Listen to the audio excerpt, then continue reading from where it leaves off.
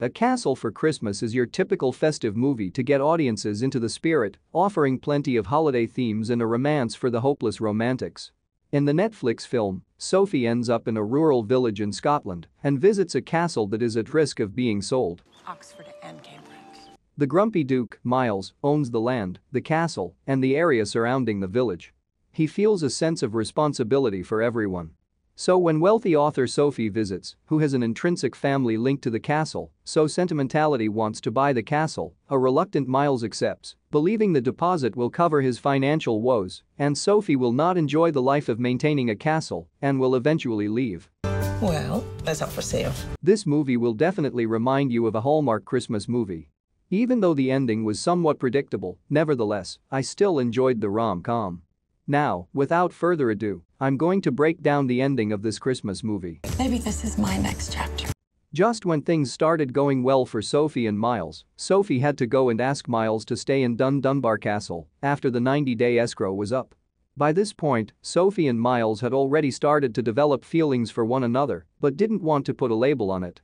Sophie, thinking she had buttered up Miles enough, asked Miles to stay with her in the castle because she saw a future with him. Miles took her invitation as an insult. Since he's so used to pushing people away, he doesn't know how to accept love from anyone and finds it hard to trust others. He ruins things before they can even begin. So miserable, she realized her mistake. He's also scared of losing Dun Dunbar. Sophie and Miles argue, and Miles basically says that the three months they shared meant nothing to him. As a guest. In disbelief at what Miles is saying, Sophie calls their deal off and storms out of the castle. Sophie packs her stuff to travel back to the US and then tells her new knitting group of friends that she's leaving and won't be attending the Christmas Eve party. They all want her to stay, but she's adamant about leaving. As a gift for being such great friends, Sophie pays off their mortgages. She says her goodbyes and then leaves.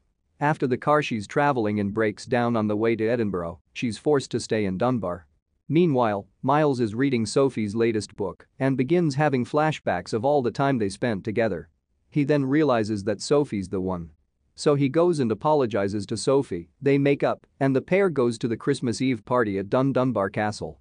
The whole village is having a good time at the party. Got me a plane ticket. Oh.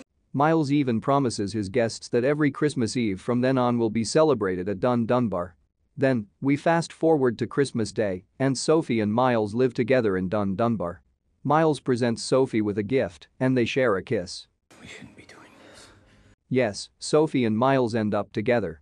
After Miles realizes that he loves Sophie, he shows up at her doorstep in an attempt to make a romantic gesture. He begins throwing snowballs at her window.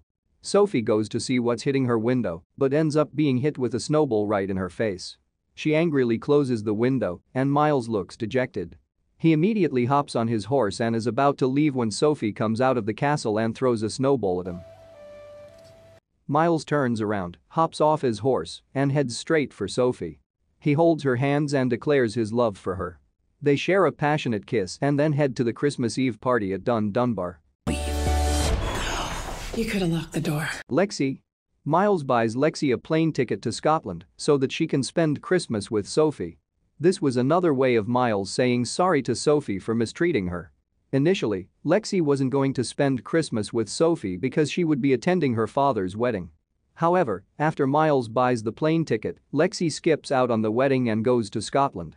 While at the Christmas Eve party, Lexi tells her mom that she'll attend her dad's next wedding